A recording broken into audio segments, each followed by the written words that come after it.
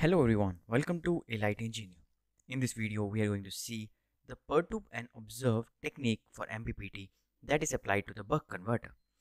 So basically, when, when we try to simulate our solar PV system with a buck converter, we first try to put the load that is a resistive load to just check how my system is working. So this is a basic model for that. So before I begin, what I did here is I started with irradiation that is 1000 watts and 25 degrees Celsius is the temperature.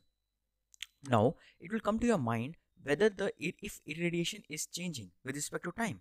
Like for example, I've considered that it is a, a perfect sunny day and I'm getting 1000 irradiation. But what if there is a some tree shadow or some shadow that is falling on this solar P panel? Then similarly we can reduce this by 800, 700, 200 as per our choice. So in the upcoming videos, I'm going to show you what if during the 24 hour interval, if it changes with respect to time, how my solar PV output will change and what is the change in my output of buck converter. And so let's begin with how I simulated this perturb and observe buck with buck converter. So what I did is I took a configuration of solar PV panel that is actually with open circuit voltage. Just one minute, I'll just show you. Yeah, this is open circuit voltage. VOC is 44.5 volts and voltage is maximum. Power point is 37.6 the temperature coefficient uh, it's coming this. And the number of cells per modules is 72 short circuit current is 8.5 and the current at maximum power point is 8.03 and this is the temperature. Now if i see with temperature uh, 45 degrees celsius and 25 degrees celsius if i plot this i'll come to know that whether it is meeting my expectations or not. Yeah this is a power i'll get when it is 25 degrees celsius this is a power i'll get. So I'll just uh, extend this I'll just show you. Yeah. So I can just check like on 25 degrees Celsius I'll get around 300 watts of power. And here the current is around 8.5 okay we can just check here also. Yeah with figure properties I think. Actually yeah with figure properties you can just check and you can just put the line and it will come and 8.2 around 8.3 it will come because 9 is this much and this is around 8.2 or 8.5 like this in the similar fashion you can do. So what happened here is there are different configurations of solar p panel we can consider. So this is a user defined which i have defined based upon my rating of buck converter boost converter buck boost converter whichever you're using.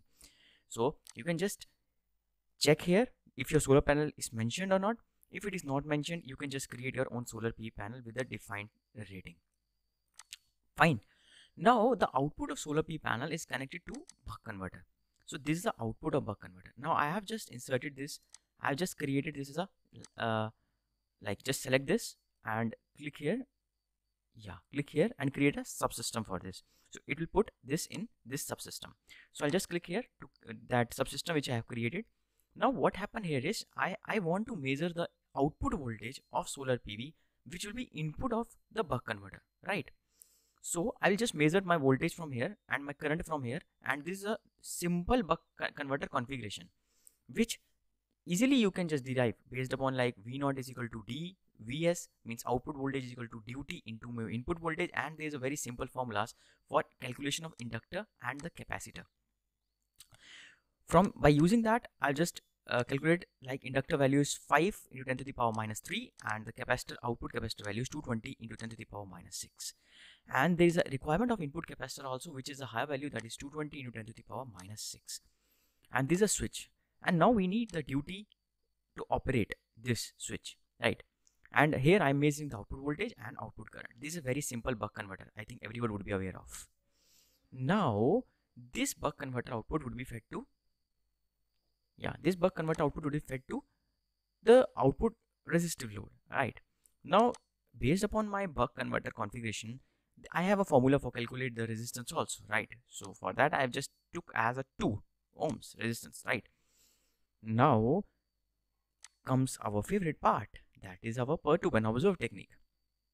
Now how it is working, I'll just show you. I've considered here from and two port. Like if you double click here and if I type here from, yeah, from, I'll get some signal routing. From signal routing, I've taken this as from. And from I just taken from inside. That is my VPV and IPV that is the output of solar P panel this much. Output of solar P panel and input of buck converter. This will be fed to my zero order hold which value is 0.02 so this you can vary according to your range and operations how you want to operate this. And here also I've just put a zero order hold right. Now if I open my perturb and observe technique here is the code which I have written for perturb and observe. It's a very simple code which I have written. Like you can also modify this. Now I'll just put here duty to pulse generator. Why I'm using this duty to pulse generator? Because duty itself cannot operate the switch. Right. So we need the pulse for the operation of switch. We are saying that the duty is operating the switch but it's indirectly relating right. So duty is operating or duty is operating indirectly the switch which is basically operated by the pulse generated by duty to pulse converter. Right.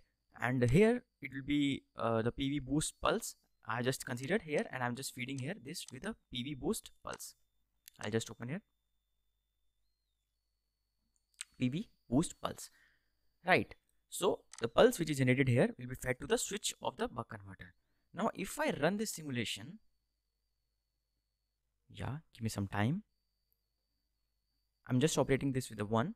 You can just operate how much time interval you want.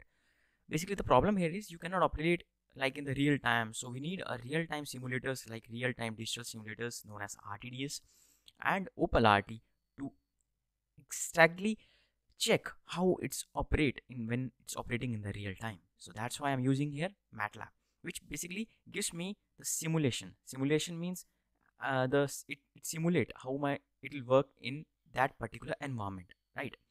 Now here I'm getting VPV IPV and duty.